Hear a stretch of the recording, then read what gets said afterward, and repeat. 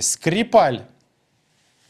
Естественно, самая это, обсуждаем, это самая обсуждаемая тема сейчас во всем мире. И в России эта тема обсуждается гораздо больше, чем, а, чем даже выборы, чем все остальные темы. И правильно обсуждается, потому что это вещь, которая а, очень сильно повлияет на все то, что происходит внутри страны и вне страны в ближайшие несколько лет. Вот прямо несколько лет без каких-то сомнений. Давайте еще раз вообще, что произошло. Этот человек был сотрудником ГРУ в течение нескольких лет. А, и он начал работать на, в какой-то момент на английскую разведку. Ну, то есть стал предателем. Его поймали, разоблачили, посадили в тюрьму. Он, ему дали 13 лет, из, из которых он 7, по-моему, отсидел, да, или 4 года он отсидел. Ну, много лет отсидел, то есть вообще его, говоря, могли убить в тюрьме, если хотели бы, да.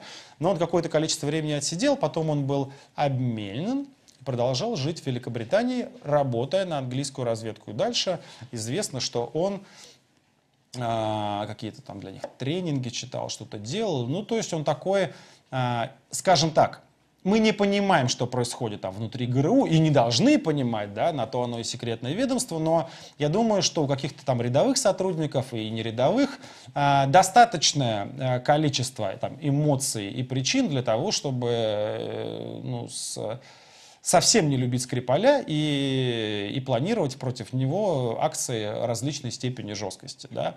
А, ну, Разведки есть разведки, мы понимаем, что люди, которые там а, а, существуют, они живут немножко по другим правилам. Другое дело, что даже когда они живут по другим правилам, наверное, не нужно а, что-то делать таким образом, распыляя оружие массового поражения и отравляя еще 20 человек. Ну так вот, этого Скрипаля отравили именно таким образом, а, отравили неким веществом, их обнаружили на скамейке в английском городе Солсбери. А, полицейский, который к ним подошел, тоже оказался в коме. Еще 21 человек, э, которые проходили мимо, пострадали. Естественно, вся Англия встала на уши. Вот обратите внимание, когда Путин выступал со своим посланием и рассказывал, какие у него есть ужасные ракеты и всякое такое, вообще всем было наплевать. Э, я даже видел подборку английских газет в день, когда Путин всем грозил своей там новой ракетой и огненным шаром. Все английские газеты писали про сугробы, которые есть на улицах, как вот сложно нам, англичанам, через эти сугробы пролезать. Всем было наплевать на путинские ракеты. Когда случилась ситуация с Скрипалем, абсолютно противоположная вещь. Все сошли с ума. И, естественно, все сразу обвинили Россию. Я могу сказать, что а, ну, на сегодняшний момент действительно не существует никаких стопроцентных доказательств. А, на сегодняшний момент нет ничего, а, кроме там мнений и заявлений английских, и уже не только английских специальных служб, которые показывали бы, доказывали, что есть причастность России. Но есть некая там совокупность косвенных косвенных доказательств, есть некие прямые доказательства. И поэтому, конечно, первоочередная версия, которая возникла, это причастность России. Лично я, повторюсь, это все, всего лишь версия, и я не знаю, что произошло, я также придерживаюсь этой версии, просто э, ну, на основании тех причин, которые нельзя отрицать. Первое. Скрипаль, судя по всему, был отравлен действительно этим газом новичок. Э, и Формула его хоть и секретная, но про него, в общем-то, известно в мире, потому что создатель этого газа новичок. Еще в 90-е годы уехал российский э, вот, не знаю, ученый, российский ученый, который работал в секретном институте. Во-первых, написал книгу здесь, его за это преследовали. Он уехал в США, и мы, конечно, не сомневаемся, что а, все западные разведки, западные исследователи, кто угодно, они а, довольно неплохо знают, что такое этот новичок, и именно поэтому так быстро установили, что Скрипаль был отравлен этим, именно этим газом. Второе, вот это дело фактически абсолютная калька с так называемого дела Литвиненко. И когда было, когда только произошло отравление Литвиненко, все точно так же говорили, ну какой смысл России делать это, это же так глупо, это же так очевидно.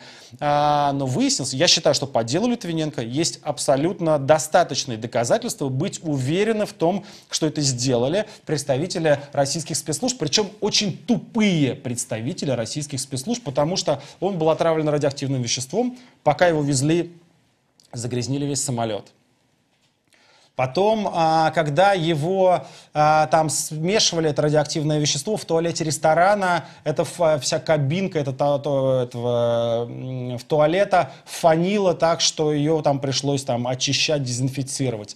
Было точно так же, а, так или иначе, подвергнуто облучению больше 20 совершенно случайных людей. Один из нападавших, один из этих убийц, сам себя э, ну, обращением с этим полонием, сам зараз, ну, не заразился лучевой болезнью, сам подвергся лучевой болезни, вот вы, видите. Луговой, который стал депутатом Госдумы и, является одним из самых идиотских и тупых депутатов. Ну, вот, собственно говоря, тупой метод исполнения отражает тупость этого Лугового, который вы можете легко проследить из любого политического, из его любого политического заявления. То есть это как в фильме «Тупой еще тупее». Людям поручили совершить такое демонстративное убийство. Они его совершили, они оставили огромное количество следов, по которым их проследили, вот их перемещение, и есть а, полное количество доказательств, что это к этому причастна Россия. И естественно, ну, как знаете, если оно выглядит как утка, крякает как утка и ходит как утка, то, скорее всего, это утка. Поэтому и Английские средства массовой информации, английские спецслужбы, как минимум, вот на этом уровне обвиняют сейчас в том, что это сделала Россия. А, и, и мне кажется, вопрос о том, зачем это сделано, ведь это невыгодно, он, это вообще абсолютно неправильная постановка вопроса. Это выгодно. Нынешнему путинскому режиму это выгодно, и мы видим, как это выгодно реализовалось прямо сейчас. Телевизор включите. Вы посмотрите, у нас снова вся политическая повестка перемкнулась на международную и на обсуждение, какие же враги на Западе, какие же они ужасные гады, как у них нет доказательств, они нас третируют. Это ровно то, что нужно Путину. Ему ничего другого не нужно. Ему не нужно, чтобы во время выборов и после выборов мы обсуждали здесь что, что угодно российское. Даже его пресловутую ядерную ракету начинают обсуждать, но только обсуждение это какое, что никакой ракеты нет. Конструкторы говорят, что нет никого, разогнали всех. В нашем а, супер там мега-институте зарплата 16 тысяч, про какую вы ракету рассказываете? Любую тему возьмите.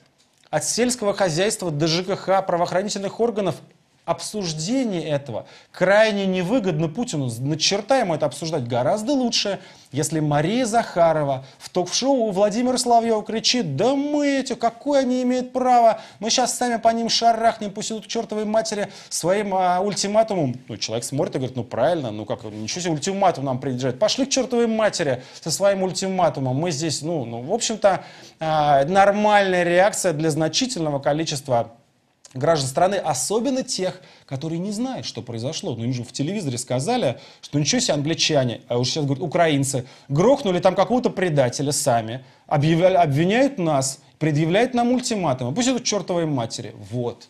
Поэтому это грандиозная выгода, и это будет сериал на долгие годы. Значит, против нас будут вводить санкции, а мы будем что-то там возмущаться. Вот буквально перед началом передачи уже Дональд Трамп даже уже заявил, что он, в общем-то, тоже поддерживает, он не обвинил впрямую Россию, так как это сделала уже Великобритания, а, Франция, там, страны Евросоюза и сам Госдеп США тоже заявил напрямую, но Трамп еще не сказал там напрямую Россия виновата, но он а, в, примерно в таком же ключе уже высказался, поэтому это будет снова на долгие годы. Прекрасная песня, и Владимир Путин будет очень счастлив, а отдельно очень счастливым его сделала Тереза Мэй, которая а, премьер-министр Великобритании сначала выступил с какими-то ужасно жесткими заявлениями, а, давайте послушаем одна минута выступления ее с титрами русскими, где она прямо а, сказала, сейчас мы тут всех разгоним,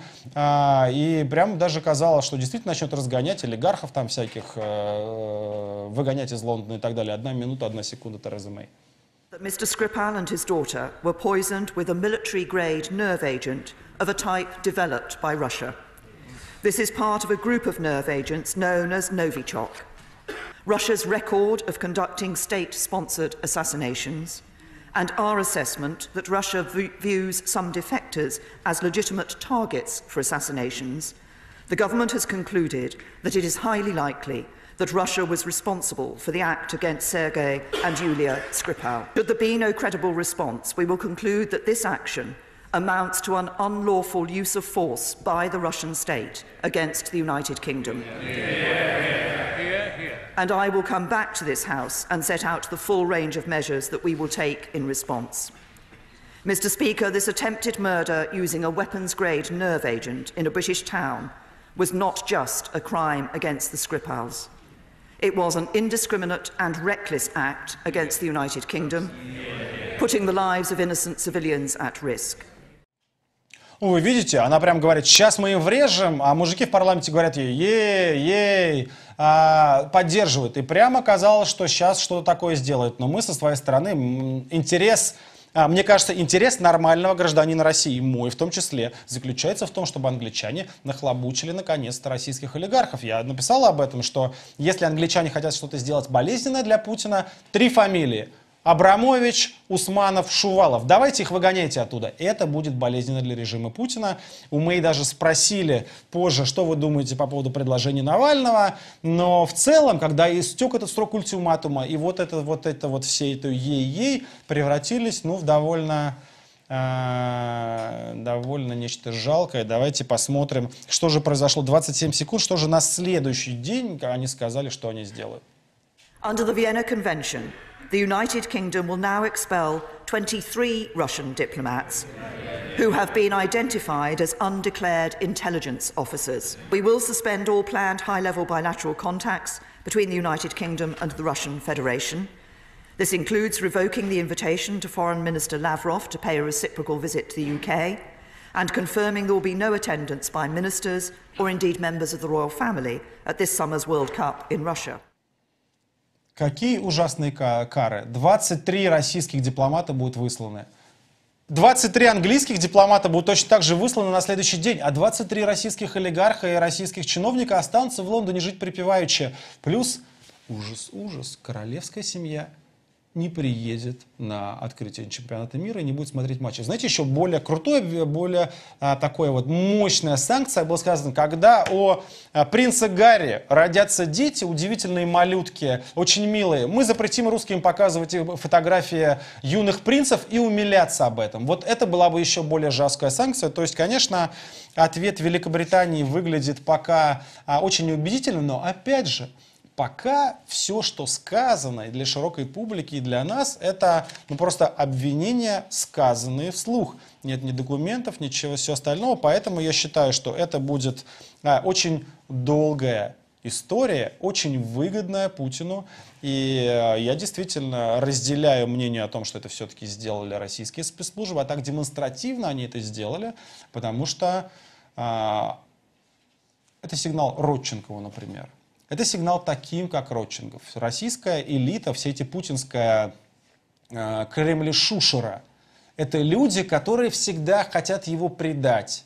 Ну, это вообще сборище жуликов и воров. И эти жулики и воры, они, конечно, в какой-то ситуации, они мечтают уехать, они мечтают увести свои деньги, и Путину крайне важно сказать всем, значит, чуваки, я вас найду и отравлю весьма демонстративно, убью. Не думайте, что вы попали в программу защиты свидетелей, ну, в которой Скрипаль, очевидно, был. Он был, видимо, штатным сотрудником Ми-6 или Ми-5, какой там спецслужбы. И, и мы его отравили так демонстративно, а, оставив такие явные следы. Поэтому не думайте, что мы вас не найдем. Это вот э, это главная цель, плюс попутная цель а, вновь переключить все обсуждение на внешние политические проблемы, но а, я думаю, что если а, будут, будут обнародованы более четкие доказательства причастности к России, конечно, санкции будут гораздо жестче, и нам остается с вами только надеяться на то, что эти санкции не будут вновь направлены против там и властью, и Западом, против российского народа, какие-то секторальные санкции против экономики, а в первую очередь против того отвратительного жулья, которая сидит там в Лондоне, и которая, вообще говоря, к радости и жителей Британии, и жителей России давно пора оттуда вы, вытурить,